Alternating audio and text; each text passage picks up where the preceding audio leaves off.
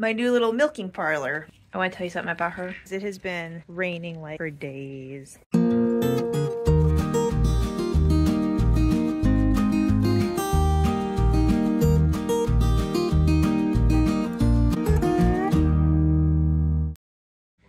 guys, I don't think I showed you on here.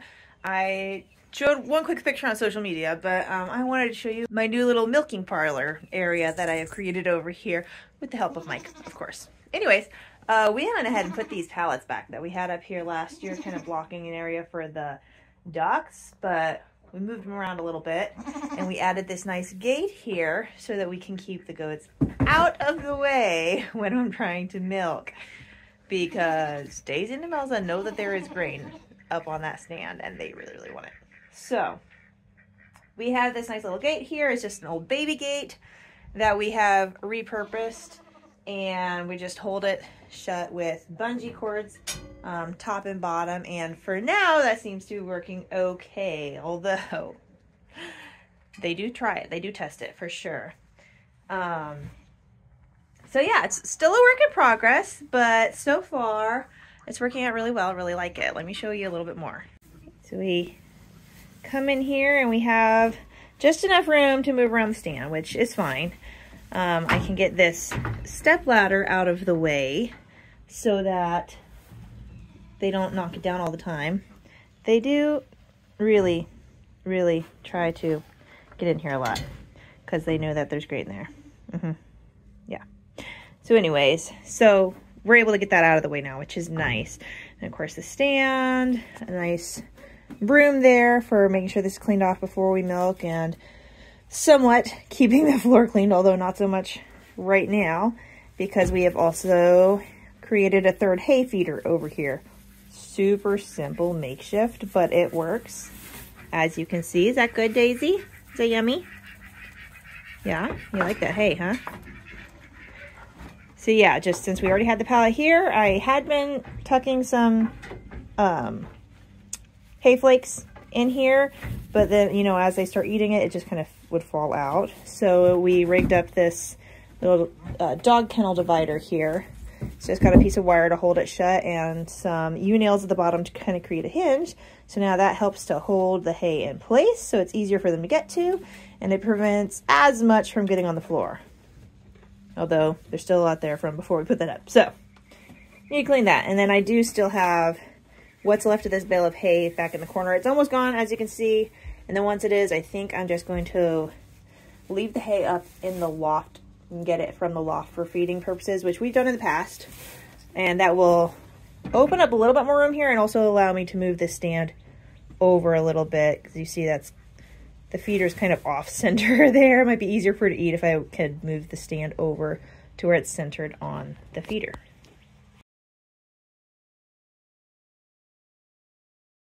So there you go, my milking parlor. Is it beautiful and white and completely secluded from the rest of the goats? No, it is not. But it's functional, and that's the important thing. So, this is what we have for now. Will it change over time? Probably. But for now, this is working really well for me, and I am really enjoying this setup.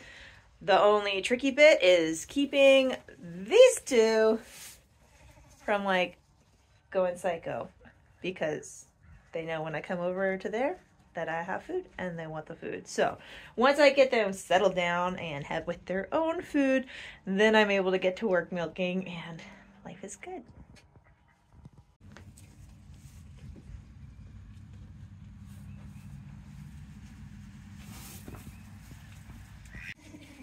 I want to tell you something about her.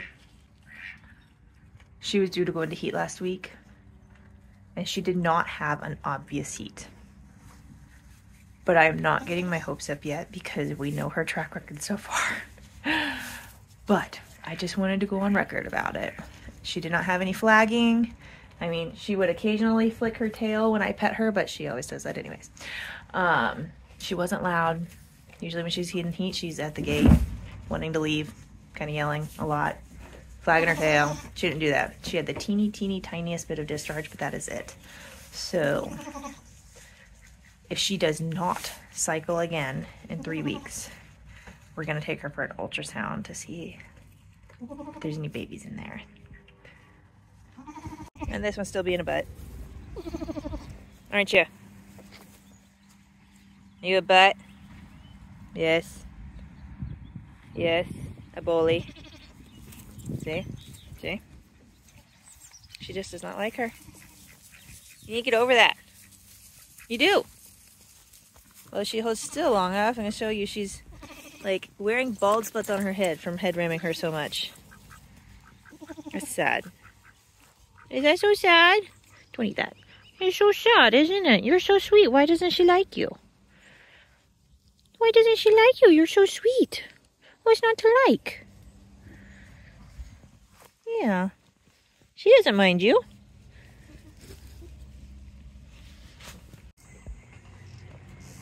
What you doing over there, Salt? Are you about to deposit an egg? Yeah, I've been finding your eggs over there. Little Missy. That's not where eggs belong. It's a bit chilly out here, but I wanted to show you guys it has been raining like crazy for days and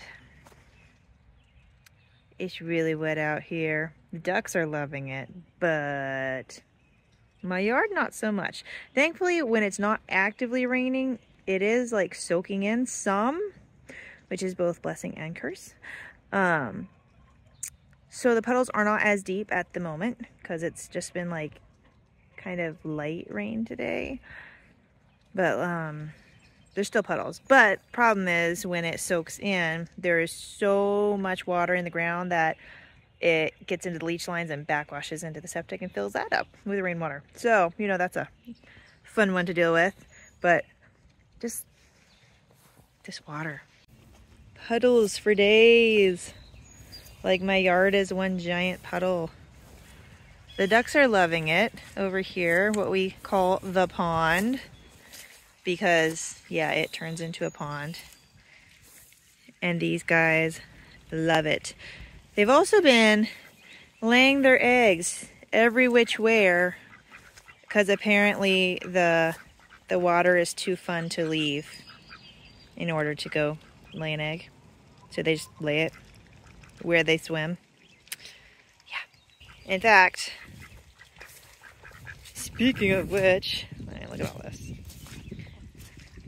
There's one right now.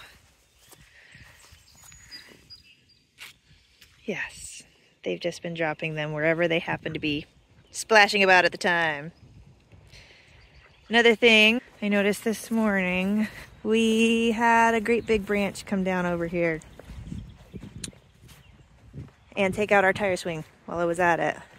Yeah, this big center branch here came from up there in the middle of the tree. When it came down, it knocked our tire swing branch as well. So, I mean, it was nice enough to put itself into the brush pile, I suppose. but that is a big honking branch that we need to take care of now. So that's fun. The kids and I went out of town to watch the eclipse. What's next? Almost there. You can see on the lens flare, there's hardly any left. How many gone. more? Probably one minute. Oh, it's really so dark, dark out. Look outside, guys. It's so oh, dark oh, out. Glasses. Look outside. It looks like it's nighttime. And yeah, it's only it got a little like tiny bit left. It's almost gone. Oh, it's so weird Watch out. It. It's going. It looks like. Oh, it's like. It looks like a tiny. can see. orange. Tiny It looks strange. It's gone. Take it off. Hey, now look at Whoa. the sky. Whoa. Wow. Weird. That's called the corona. That is so cool. Some, We were only gone for a couple days, but with all of this rain, a lot of things, a lot of plants started blooming. Apple tree is all in bloom. Um, the ones up front are as well.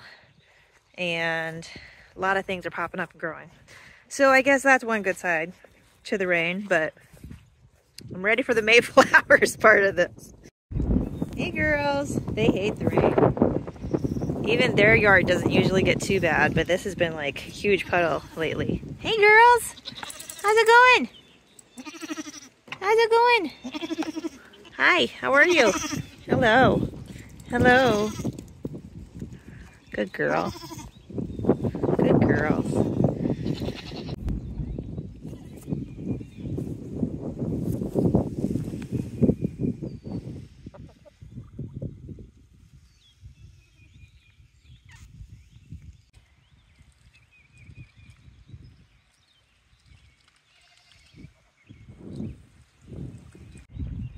My onions are growing though. They're really enjoying this rain.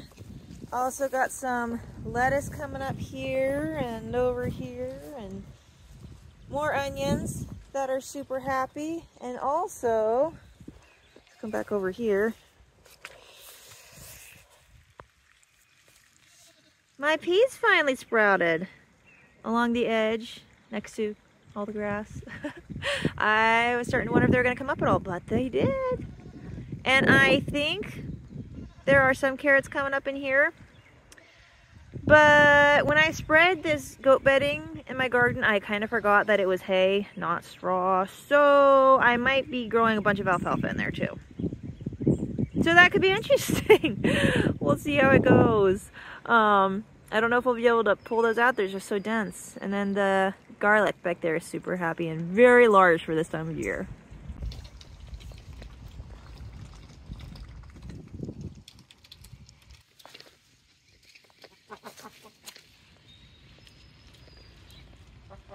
yeah, lots of rain.